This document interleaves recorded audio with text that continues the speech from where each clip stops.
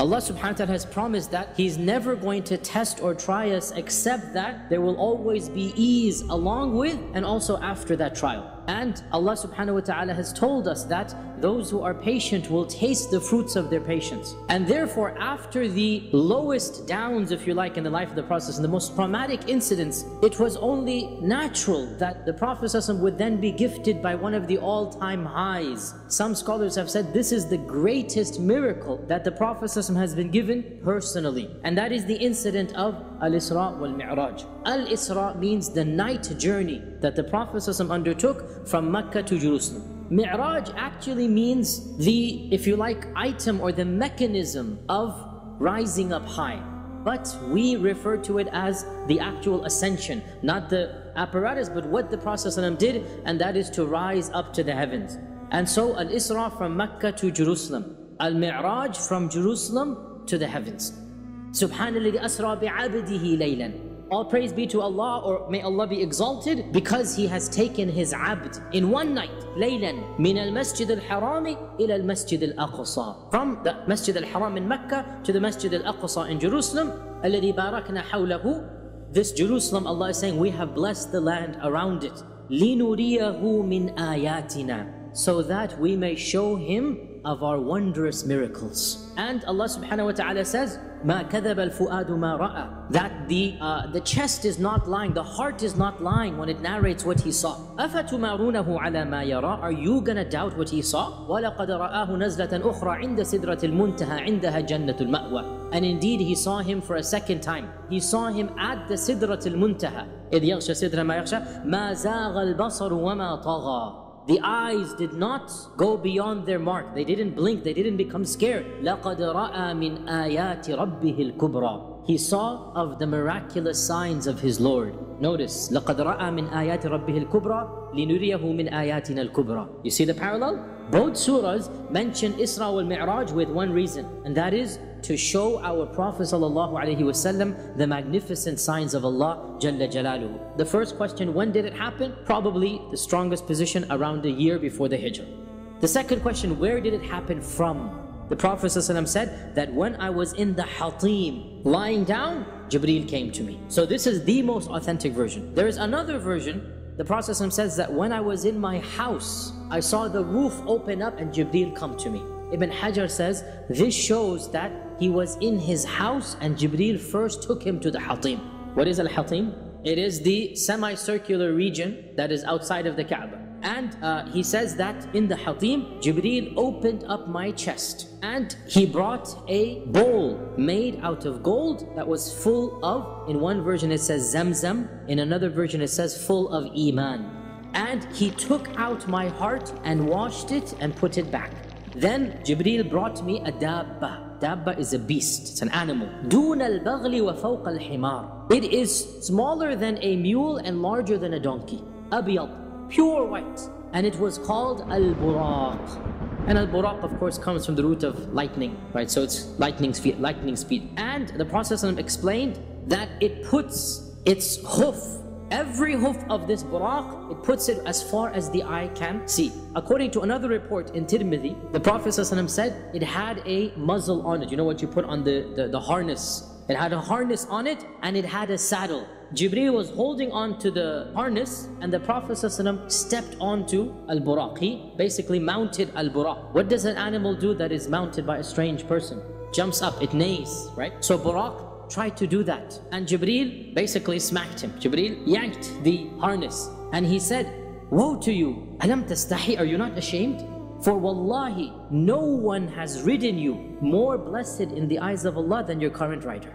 And the Prophet said that I rode him and he took me until we came to Baytul Maqdis. And I tied al-buraq to the animal post that is used by the Prophets. I went inside and I prayed two rak'at. According to one narration, the Prophet ﷺ prayed two rak'at and when he turned around, فَالْتَفَتُّ فَرَأَيْتُ جَمِيعَ الْأَنْبِيَاءِ He saw all of the Prophets lying behind him. From the other narration that we have, the Prophet ﷺ actually says that I saw myself with the other prophets. And there was Musa praying, قَائِمٌ يُصَلِّي And he was a tall and strong and muscular man of a brownish color, as if he is a man from the tribe of Shanu'a. And in fact, our Prophet ﷺ said that when I was going to Isra al-Mi'raj, I passed by the grave of Musa. So this means he passed by his grave and then Allah took him to Masjid to Masjid al-Aqsa, right? And then Allah took him to the sixth heaven. So he met Musa three times. And I saw Isa ibn Maryam alayhi salam standing and praying. And the one who looks most like him is Urwa ibn Mas'ud al-Thaqafi. In another version, the Prophet said he was whitish in color. Of course, the Arabic is red. As I said before, the Arabs called white people red. And his hair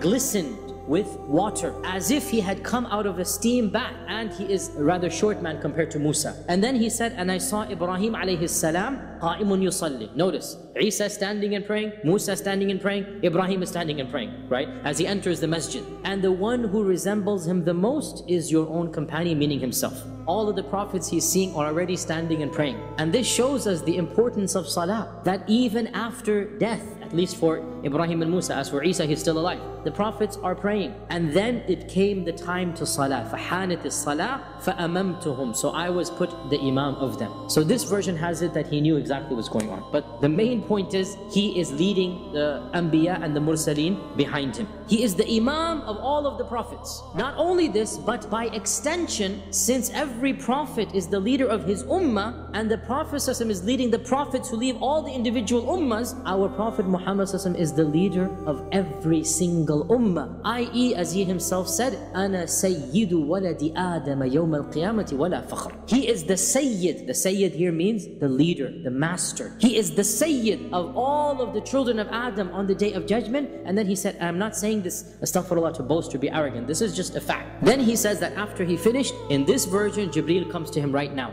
and presents two utensils. In another version, Jibril does this when they ascend up to the heavens. One of them has khamr and the other one has laban, right? So there's wine and there is milk. Wine is still halal. The Muslims of Mecca are drinking wine.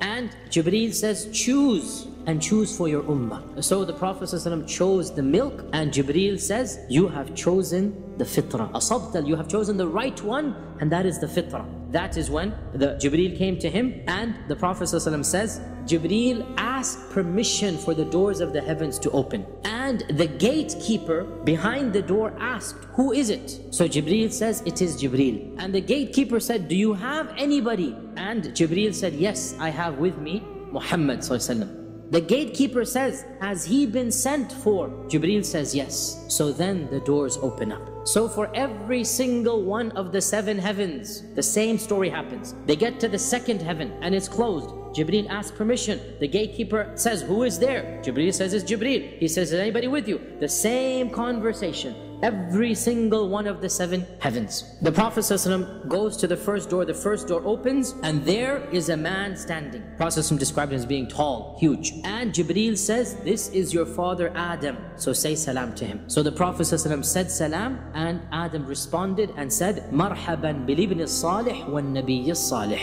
Welcome, O noble son and O noble prophet. Welcome, O righteous son and O righteous prophet. In the second heaven, there is Yahya and Isa ibn al-Khal, i.e. their two mothers were sisters, right? So Maryam and her sister, and the Prophet was told, this is Yahya and Isa, say salam to them. And so I said salam to them, and they said, welcome, O noble brother and O noble prophet. Then the third heaven, and in the third heaven was Yusuf salam. And the same thing, welcome, O noble brother and O noble prophet. And here is where the Prophet said the famous phrase, I saw Yusuf, and lo and behold, it was as if he had been given half of all beauty. Shatr al-Husn. Then I went up to the fourth heaven, and in the fourth was Idris alayhi salam. And Idris also says, Welcome, O noble brother and O noble prophet. Then I go up to the fifth heaven, and there is Harun, and the same, Welcome, O noble brother and noble prophet.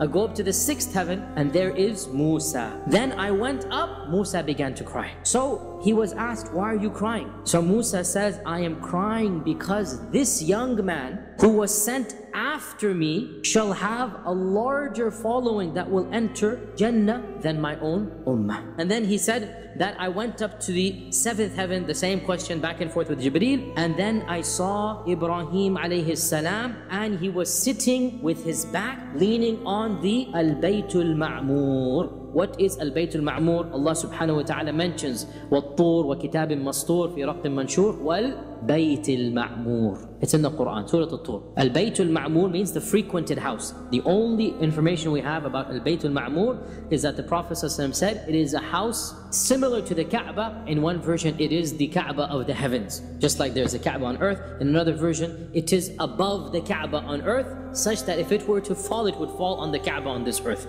So it is above the Kaaba of this earth. And every single day since Allah has created the creation, 70,000 angels enter Al-Bayt Al-Ma'mur to basically do tawaf and pray. And those 70,000 never return. And every single day this happens. And Ibrahim is there because he is the one who built the Kaaba on earth. So he deserves to be associated with the Kaaba in the heavens. And Jibreel said to me, This is your father Ibrahim. Hada abuka Ibrahim. Say salam to him. And so the Prophet ﷺ said salam to him, and Ibrahim responded the exact same way that Adam had responded. Notice the beginning and the end, the same response, right? Welcome, O noble son, and O noble prophet. So notice the dabba or buraq is still tied at the post, okay? So the journey is very simple. From Masjid al-Haram to Masjid al-Aqsa from Masjid al-Aqsa up to the heavens, then he's to come back down and then use Buraq to get back to Mecca.